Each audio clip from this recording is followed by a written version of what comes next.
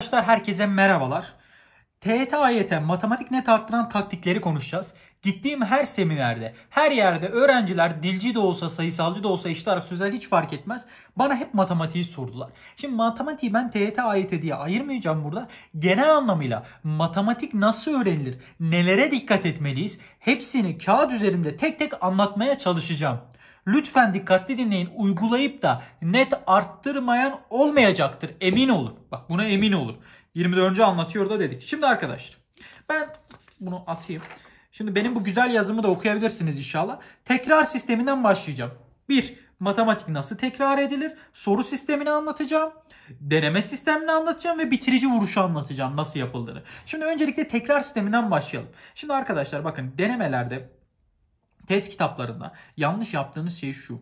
Çözdükten sonra bu soruları tekrardan geri dönüp bakmıyorsunuz. Şimdi bunun için biz şunu koyduk. Size bu bunun PDF'i zaten bizim defterimizin PDF'i Telegram grubunda da var. Ya da satın da alabilirsiniz. İnternette de satılan bir şey bu. Şimdi arkadaşlar bunu açtığımız zaman bununla birlikte veya bunun olmasına da gerek yok. Konu listesini çıkardıktan sonra tekrar sistemdeki mantık şu. Temel kavramları e, yanlış yaptığınız her zaman tik atacaksınız. Bu bir denemelerde. Eğer ki bunu yaptınız ve tikler arttı. Her bir renk değişimde bir yani 4 yanlışta bir denemelerin tekrar sisteminden bahsediyorum. 4 yanlışta bir ne yapacağız efendim? Bu konuyla ilgili 2 adet soru çözüm videosu dinleyeceğiz. Soru çözüm videosu. Daha sonra bunu yaptıktan sonra arkadaşlar eğer konuyu gerçekten çok unuttum ben konuyu tam anlamamışım diyorsanız 3-4 adet seviyenize ait yani bir 40-50 soru kadar seviyenize ait test çözeceksiniz. Yani seviyeniz çok yüksekse zor sorular çözeceksiniz. Yok ben daha münaim hedefler hedefliyorum. Ben 15-20 net yapayım bana yeter diyorsanız daha orta. Daha da düşükse kolay testler çözeceksiniz. Tekrar sistemini oluşturacaksınız bu bir. Yani her bir konuda denemelerde 4 yanlış görürseniz tekrar yapacaksınız. Ha ben deneme çözmüyorum. O zaman nasıl tekrar yapacağım? Basit. O zaman da şöyle yapacaksınız arkadaşlar. Test kitaplarında yarısına yarısı yanlış yapılıyorsa konu anlanmamış demektir. Yani %50'nin üzerinde bir başarı bekliyoruz size. 60-70 en az bir başarı bekliyoruz. Sen 10 sorudan gidip 3-4 doğru yapıyorsan konuyu ya unutmuşsun ya da anlamamışsın. Tekrar et diye. Tekrar sistemi bu. İkincisi soru sistemi. Şimdi arkadaşlar matematik dediğimiz ders hemen oturmuyor. Buradaki mantık şu. Seviyen iyi değil ise en az iki test kitabıyla gideceksin. En az iki. En az iki. Eğer ki tek test kitabıyla gidersen unutmaya meyilli olursun. Şimdi şöyle. Problemler, problemler bizim kilit konumuz. Problemler ve önce öncesi sonrası diye ayırdık. Problemlerden önce sen ortalama bir öğrencisin ve iki test kitabıyla başladın. Eğer ortalamanın altında bir öğrenciysen 3, eğer ortalamanın üstünde bir öğrenciysen bir test kitabıyla gittin.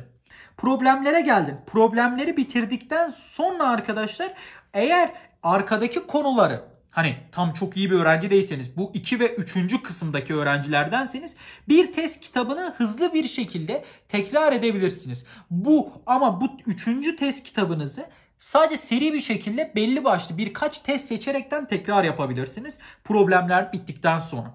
Soru sistemimizde bir diğer kuralımız şu. Sorularla 3-5 dakika uğraş. Bakın arkadaşlar soru bittiği zaman yani e, konu bittiği zaman sorulara geçtiğiniz zaman sorularla uğraşmaz iseniz gelişemezsiniz. Hemen ay yapamadım ben aptalım ben gideyim efendime söyleyeyim videosunu dinleyeyim hocama sorayım arkadaşıma sorayım değil. Önce uğraş sonra sor. Sorduğum bu sorunun çözümünü öğrendin. Yani uğraştın çözemedin çözümünü öğrendin.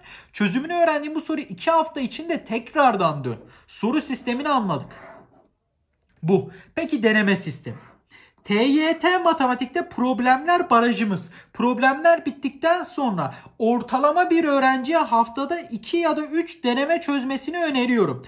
AYT'de ise barajımız trigonometri. Trigonometriden sonra haftada 2 deneme çözmenizi öneriyorum arkadaşlar. Denemelerde dediğim gibi bu analiz sistemini mutlaka kullanacağız ve bu denemelere de aynı sorular gibi 2 haftada bir geri döneceğiz.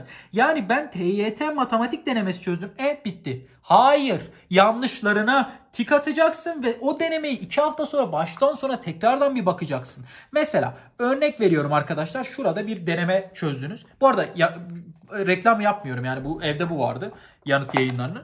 Ee, yanıt yayınların matematik denemesini açalım. Şöyle. Hah geldi. Şimdi bu arada deneme bayağı kaliteli. Yanıt yayınlarının bu denemesini açtık. Burada 8'dir, 10'dur, ne bileyim 18. sorularda sıkıntımız var. Bunlara işaret koyduk. Denemeye döndüğünüz zaman genel bir bakış atıp bu soruları tekrardan çözeceksiniz. Dikkat hatası yaptıysanız dikkat hatası diye belirtip neden dikkat hatası yaptıysanız ona da bakacaksınız arkadaşlar. Bu bir. Ve ha, bu soruları kesmeyin bence. Denemenin üzerinde analiz yapın. Soru bankalardaki soruları kesip ya da fotoğrafını çekebilirsiniz. Ama deneme üzerinde analiz her zaman iyidir arkadaşlar. Denemelerimizi yapıyoruz. Güzel. Ve bitirici vuruş. Bitirici vuruş ne? Hem TYT hem AYT matematiğin bitirici vuruşu çıkmış sorulardır arkadaşlar. Çıkmış sorular. Çıkmış soruları ben şöyle öneriyorum. Arkadaşlar TYT veya YGS matematikte konular bittikten sonra deneme şeklinde yapıp çözmenizi öneriyorum. Yani 2010 ile 2020 yıllar arasındaki sınavlarını bildiğiniz normal deneme şeklinde yapıp çözmenizi istiyorum. AYT veya LYS'de ise ayıklanmış 2019-2020'yi boş veriyorum. Bu iki yılı deneme yapabilirsiniz AYT genel denemesi diye. Ondan önceki 2018 ve öncesini çıkmış sorular kitapları var. Bunlar konulara göre ayrı, ayıklanmış. Mesela örnek veriyorum logaritma çalıştınız. Logaritma. Tutacaksın logaritmanın çıkmış sorularını çözeceksin. Bu. 2019-2020'yi deneme yap. AYT denemesi 2018'den hatta 2018'de yapabilirsin. 2018 ve öncesine ayıklanmış olarak şu kaldırılan şeyler var. Burada dene, e, logaritma bitti hemen şeylerini çöz. Bilmem ne konusu bitti diziler bitti çöz gibi. Ve arkadaşlar TYT matematikte son olarak bir şey daha söylemek istiyorum. TYT matematikte ders denemesi çözüyorum netim 20 geliyor. Genel deneme çözüyorum netim 15 geliyor ise benim süre kontrolünde sıkıntım vardır. Bu bir. İkincisi ise benim beynim yoruluyordur. Beynim. Alıştırmamışımdır kendimi. Böyle olan arkadaşlarımız varsa 1-2 netten fazla oynuyorsa 15-20 gibi 5-6 net oynuyorsa bu arkadaşlarımızın yapması gereken şey ders denemesinden çok genel deneme abanmaktır. Çünkü onun meselesi geneli kontrol edemiyor. Ve genel deneme e, nasıl çözülür bunu da ileride konuşuruz. Ama genel deneme abanması gerekiyor arkadaşlar. Bu şekilde anlatmaya çalıştım. Ee, öyle yani. Bitti.